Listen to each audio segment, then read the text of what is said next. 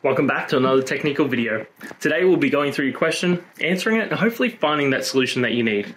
Guys, remember to stay just a little bit crazy like me, and hopefully you find that resolution you need. Anyway, let's continue on.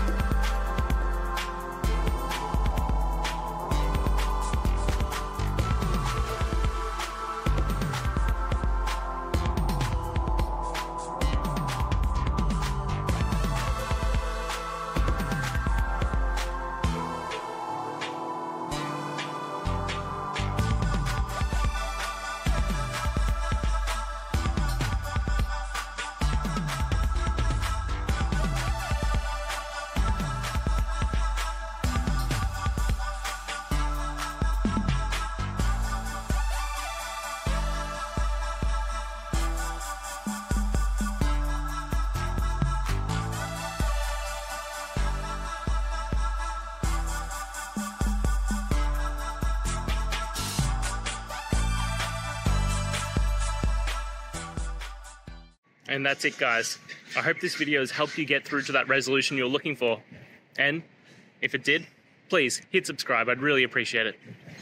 Now, until next time, I hope you have a good day and see you then. Cheers.